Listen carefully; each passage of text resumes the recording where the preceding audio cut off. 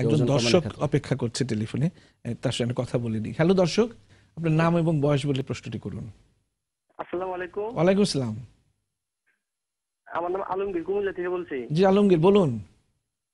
আমার ইয়া বাম দিকে একটু গাড়ির থেকে ডান্নাটা পর্যন্ত ব্যথা আর কি আজকে কয়েকদিন। তো তারপরে শুইলে ব্যথা করে আমি চলাফেরা করলে কোনো ব্যথা করে না। এর জন্য আমি কি করব? কোন হাতে ব্যথা সেটা বাম থেকে গাড়ির থেকে একটু ডান্নাটা পর্যন্ত আর কি। মানে আচ্ছা, আচ্ছা। ওষা- একটু শুয়ে থাকলে ব্যথা করে বেশি আর আপনি মাথার নিচে কয়টা বালিশ দেন?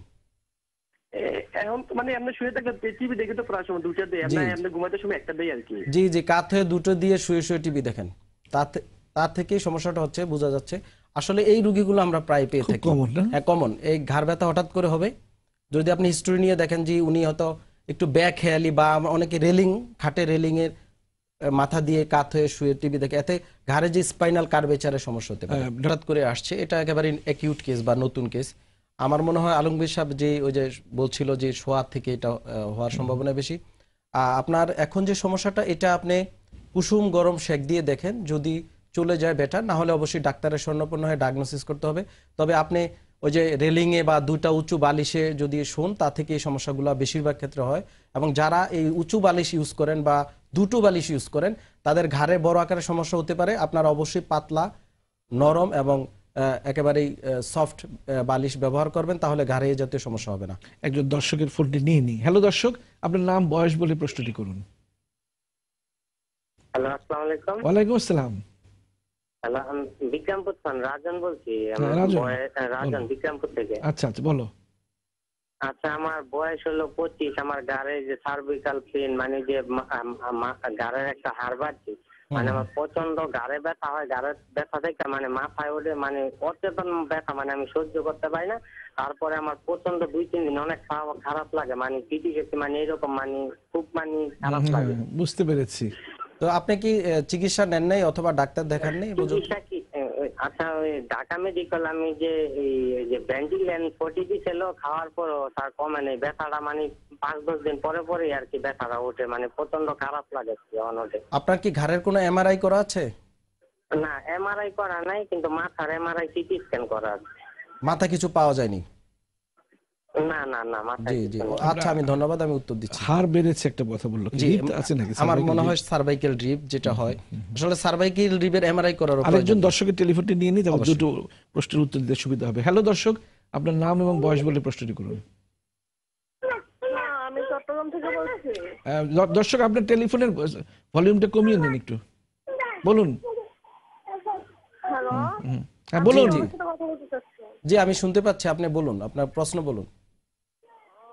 আমার না দীর্ঘদিন ধরে মানে ব্যথা পুরো শরীরে ব্যথা করতেছে। তারপর আমি রক্ত পরীক্ষা করছি করার পরে মানে বাদ ধরা পড়ছি। বাদ জ্বর বাদ জ্বর হ্যাঁ এসোটাইটার পরীক্ষা করেছেন তাই না? হ্যাঁ। হ্যাঁ বলুন বলুন কত এখন? বয়স কত? হ্যালো? আপনার বয়স কত? আচ্ছা ঠিক আছে ঠিক আছে। পরের উত্তরটা আমরা পরে দিই যে আগে যে রোগী বলেছিল যে হ্যাঁ। তার সার্ভাইকেল rib এই ক্ষেত্রে অনেক সময় এমআরআই প্রয়োজন হয় না এক্সরে করলে দেখা যায়। পাওয়া যায়। যেটা হচ্ছে থোরাসিক আউটলেট সিনড্রোম আমরা যেটা। যে আমাদের এসএমএস এসেছিল জি, দর্শক। যে আমরা এটা হচ্ছে ঘাট থেকে বিভিন্ন নার্ভ হাতে আসছে এবং শুধু নট অনলি নার্ভ এখানে কিন্তু বিভিন্ন ব্লাড ভেসেলস আছে। এগুলো একসাথে কিন্তু ওখানে রিভের কারণে কম্প্রেসড হতে পারে। সেক্ষেত্রে শুধু কেবল নার্ভের সমস্যা হবে না ব্লাড মানে সার্কুলেটরি সমস্যা হতে পারে। তো আমার মনে হয় দর্শক এই সমস্যাটা আরও কনফার্ম করা দরকার। আপনার যেহেতু ঘাড়, মাথা এবং ব্রেনে সিটি স্ক্যানে কিছু পাওয়া যায় না, এটা ঘাট থেকে হচ্ছে। এবং এই ক্ষেত্রে চিকিৎসা ডিফারেন্ট এগুলো ব্যথার ওষুধ বা অন্য ওষুধ খেয়ে খেয়ে গ্যাস্ট্রাইটিস আলসার আরও বিভিন্ন সমস্যা হতে পারে। এক্ষেত্রে আপনাকে ডিকম্প্রেশন বা রিল্যাক্সেশন থেরাপি দিতে হবে, যেটা মডার্ন ফিজিওথেরাপির অংশ। এক্ষেত্রে কিছু ইলেকট্রোথেরাপি আছে এবং পাশাপাশি এক্সারসাইজ প্রয়োজনে কিছুদিন হসপিটালাইজড হয়ে থেরাপিগুলো করলেই সমস্যাটা পার্মানেন্টলি চলে যাবে। আর দ্বিতীয় যে দর্শক বলছিল যে বাদ জ্বর বাদ জ্বর আসলে এই ডায়াগনোসিসটা ইম্পর্টেন্ট আসলে ওই কিছু ব্যথা হলেই বাদ জ্বর বাদ বলে এটা আমাদের দেশে বাদ জ্বরটা একটি স্পেসিফিক জ্বর। জ্বর। এবং এটা সাধারণত বাদ জ্বর আপনি জানেন যে বয়স মোটামুটি কিশোর বয়সে এটা হয় বাচ্চাদের থেকে শুরু করে। তো সাধারণত মনে হয় না এটা বাত রোগ আর বাত জ্বর কিন্তু এক সব বেশিরভাগ অনেক অনেকে করে কি এক করে ফেলে। এক করে ফেলে। তো দর্শক আমার মনে হয় আপনার এটা আরও কনফার্ম করা দরকার। আপনি যে বলছিলেন বাত জ্বর সম্ভবত মনে হচ্ছে বাত রোগ। যেটা আমরা আর্থ্রাইটিস রোগ বলে থাকি মহিলাদের কমন যেমন ফাইব্রোমায়ালজিয়া অনেক সারা আছে, শরীরে ব্যথা হতে পারে রিউমাটয়েড আর্থ্রাইটিস হতে পারে। আপনার ডায়াগনোসিসটা আরও কনফার্ম করা উচিত। প্রয়োজনে আপনি একজন বিশেষজ্ঞের শরণাপন্ন হয়ে ডায়াগনোসিস কনফার্ম করেন। যদি ডায়াগনোসিস কনফার্ম করা যায় সেক্ষেত্রে চিকিৎসা দিতে হবে। বাত জ্বরের চিকিৎসা এক আর বাত রোগের চিকিৎসা আরেক।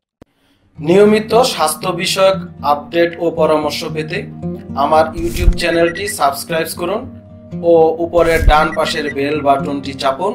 এবং আপনাদের অন্যান্য সোশ্যাল মিডিয়ায় এই ভিডিওটি শেয়ার করুন। আমরা জানি আপনার প্রিয়জন আপনার জন্য কতটা গুরুত্ব বহন করে। প্রপার ডায়াগনোসিস কনসালটেশন পেইন ও প্যারালাইসিস চিকিৎসা, পুনর্বাসন আমাদের সব আয়োজনে সব সময় আপনাদের জন্য চব্বিশ ঘণ্টা খোলা আমরা চাই না আপনারা বারবার আমাদের কাছে ফিরে আসুন তবুও আমরা আছি সব সময় সর্বদা আপনাদের পাশেই।